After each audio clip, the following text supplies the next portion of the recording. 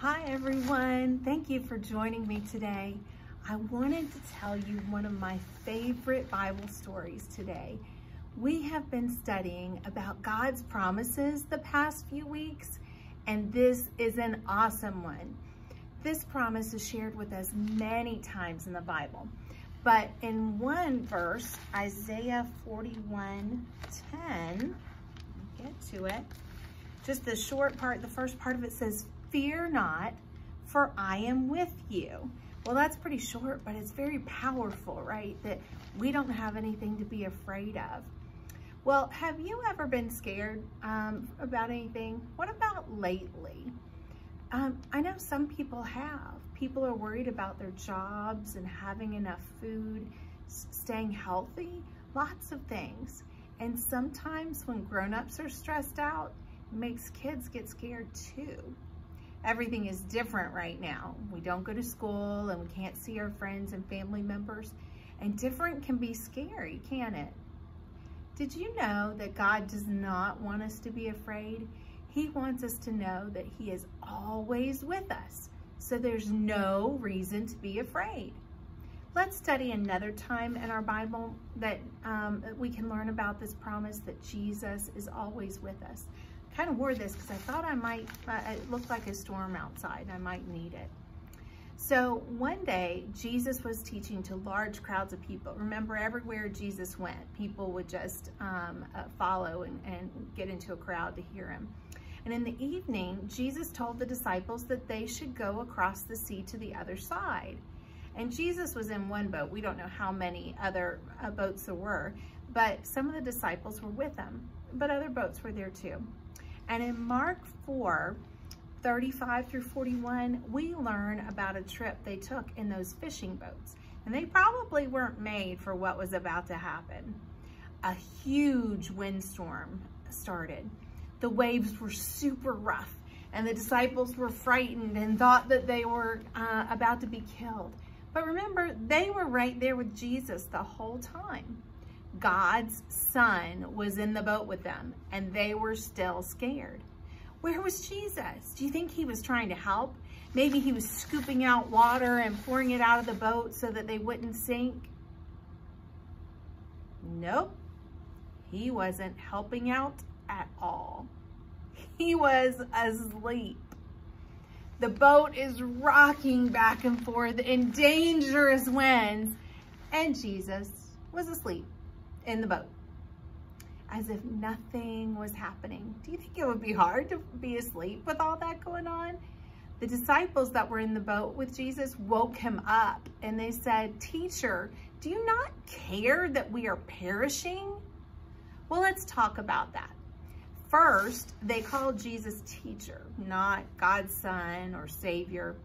Jesus did teach people about God's love and God's law, but he was much more than that, and the disciples were about to find that out again. The word perishing is just a word that means dying. So the disciples really thought they were about to die. Jesus woke up, but he wasn't scared of the storm or the winds. He rebuked the wind. That means he kind of fussed at it and told it to stop. He said, peace, be still. Have you ever talked to the wind before? I haven't really tried that before. But Jesus said it and the wind stopped. Instantly, the wind stopped. How could that be? Who controls the wind and the rain and the sun and the stars and everything else? Well, God and Jesus. The disciples, even after spending so much time with Jesus, were still confused about who he was. They had seen him perform miracles, but they were still afraid and they were still in the boat a few feet away from him. They were shocked that the waves were instantly calm. But Jesus asked them why they were so afraid. He said, have you no faith? They knew then that Jesus had unbelievable powers even though they still didn't completely understand everything. Can you think of a time when you were really afraid? Sometimes we feel better when someone we know is right there, like mom or dad.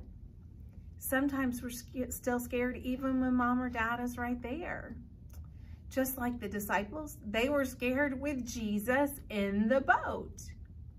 But God doesn't want us to feel like that, ever. He wants us to know that everything is in his control and he is always with us. Did you know nothing surprises God? Jesus was not surprised by the storm. He knew it was going to happen before he told the disciples to cross the sea that night. We know now about Jesus' power and that he's truly God's son. But we really have no reason to be afraid because we know that. It's still hard sometimes, even as adults, to remember that. Let's think about something that you can't see, but you know is there. I can think of a few things like love. We draw cute little hearts to represent love, but that's not really what love looks like. You can't see it, but I bet you can think of ways that you know it's there. Maybe hug or smile, or someone helping you with something, or maybe cooking your favorite meal.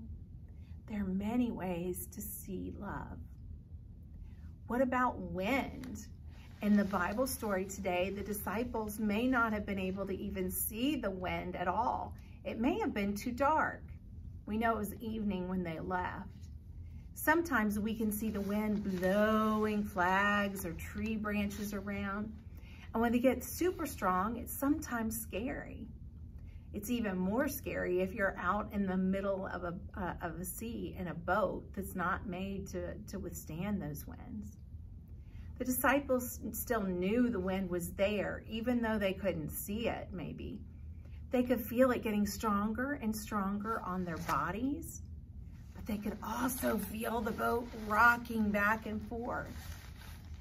There are many other things that are invisible to uh, our eyes, but Jesus wasn't invisible to them and in the story. He was in the boat with the disciples. This was before he died on the cross and rose again.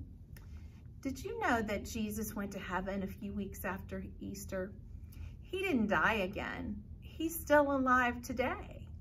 In heaven, though, he can be everywhere and with all of us all the time. We may not be able to see him in the boat like the disciples could, but he is still right here next to us all the time. We remember that, if we remember that, when we are happy or sad or scared or relieved or angry or content, that will help us. Because Jesus and God never change and they never, ever, ever break any promises. So we can believe it when the Bible tells us that Jesus will never leave us or forsake us, that he is always with us. Do you think you could remember that every day? I hope so. When I remember that and I focus on that truth, nothing scares me. But when I forget, sometimes I worry. And that's not what God has planned for me. I can think about all of God's promises for me to turn things around again and not to be worried anymore. That's what faith is, believing in things that you might not be able to see.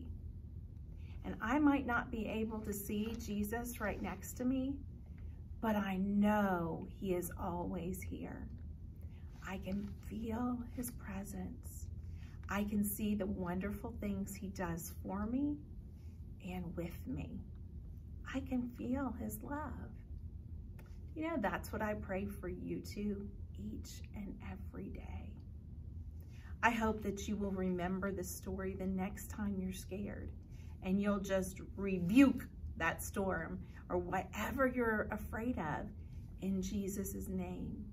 Because Jesus will calm your storm too. It might be a problem that you're having. It might not be a windstorm that you're afraid of but any kind of problem that we have to go through. I love you guys, and I hope you know in your hearts that Jesus loves you more than you can imagine.